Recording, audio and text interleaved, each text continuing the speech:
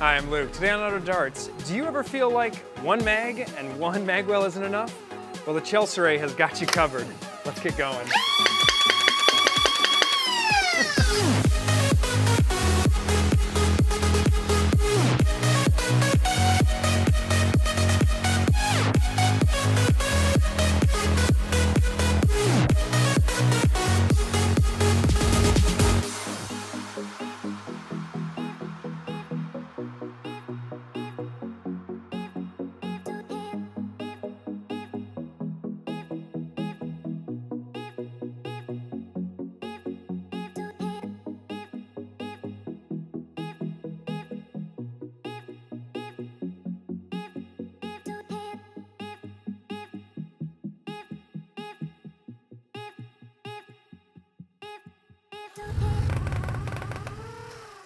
This is the Chelicerae. The Chelicerae is a dual magwell Talon mag flywheel powered blaster.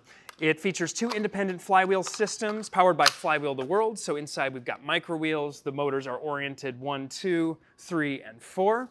It's got two independent barrels that fire at the same time, and it is driven by a Flywheel the World solenoid in the back.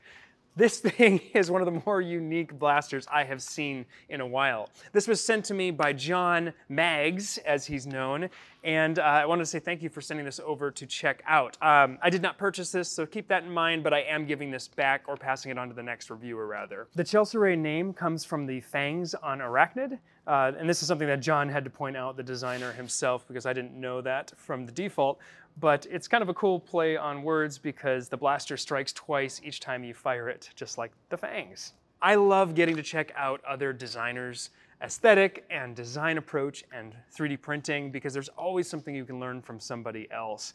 And this is certainly a unique blaster.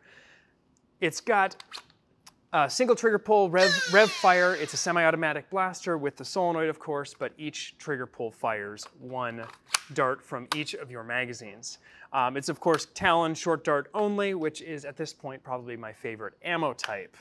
Uh, it's got a few other unique features, which I'll go over here, and it's quite the unique blaster. Starting from the basics, it features a fairly large battery compartment in the back, We've got room for, easily fits a 1500 milliamp hour pack, but I think you could probably cram a 2200 in there if you wanted. In the back, we've got a standard voltage meter, and down in the grip well here, grip guard, we've got a three switches here, which are independent for turning on the various features. Uh, the very last one is, or the very first one is the voltage readout, so I can turn that on and off if you don't want to look at that. The medium one is the front firing light up muzzle which I think is a really, really nice touch. I would love to be playing at night and see this blinking at you as you're getting uh, chased down by some zombies or something like that. And then the last one is the top slide, which when it revs, we've got this animated LED. and I think that combined effect is really, really cool. When you rev up the blaster, Now, given this is a solenoid, the rate of fire is quite decent. I think I could pull off about seven or eight rounds a second. So you're gonna dump these magazines fairly quickly. It is semi-automatic, but the trigger feels very, very good. It's very snappy, and overall, it seems to perform fairly well. Performance is in the 120 to 130 range. We'll put the actual 20-shot average up on the screen here. Uh, for the average, we'll just chronograph one barrel so we don't get any misreads coming from both at the same time. The blaster has kind of a unique uh, aesthetic. It's very blocky, very sort of uh, futuristic cyberpunk kind of feel to it. Up top, we've got all these massive heat sinks, which kind of give it like that railgun aesthetic. All of this is just uh, cosmetic. It's not, uh, it's, the heat sinks aren't actually doing anything. It's really just there for the you know visual aesthetic of the blaster. For the flywheel motor leads, we've actually got external ones which kind of add to that aesthetic, and I think it's kind of a very successful approach because it is very unique from everything else. I think there's some nice detailing around the blaster, but it is a very blocky, chunky feel overall. Now I'm sure some of you are thinking, why wouldn't you throw the Tachi mags in there? Unfortunately, it looks like the shape of the pusher is a little too wide to fit through our feed lip properly. So it doesn't seem like these are directly compatible. Um, I can occasionally get some shots off. But I think when you've got both pushers moving at the same time, when you've got two loaded, it, the uh, catch is great, but at times it doesn't want to uh, get both of the uh, followers into the uh, magwell. So maybe the follower could just be redesigned and made a little smaller, and that would probably solve the issue.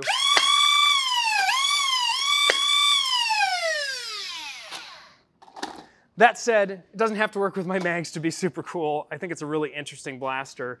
The ergonomics of it do leave a little bit to be desired. As a lot of you know, I'm kind of obsessed with ergonomics, and this really comes down to personal preference. I expect the uh, designer, John, his hands are probably a little smaller than mine. It's this thing that keeps classically happening. But if you look where my hands rest, I, I literally just cannot, I can't put my pinky into um, the trigger well here, the uh, grip well, because it, it, if I do it, then the actual uh, rev switch will hit my index finger. So I kind of have to hold it like this, which is a little, a little uh, awkward uh, overall, but again, if you had smaller hands, it would probably feel just fine. And I expect this is very comfortable for the creator's hands because you're always gonna design stuff for yourself first. John told me that this was his fourth blaster that he's designed, and it's a completely original blaster, everything built from the ground up, and I think that's really cool.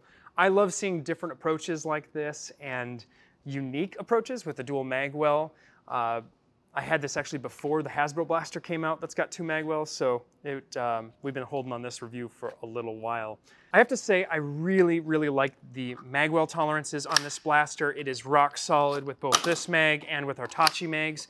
There are a lot of different approaches on the actual magwell tightness, and a couple of you may remember when I did my Pyara video, it's got a pretty sloppy magwell, and um, so much so that they, they frequently drop out. Um, and, and on the and on our Tachi mags occasionally have issues catching, but it's just pretty sloppy as far as tolerance. This is really rock solid. It seems like they've really got the tolerance.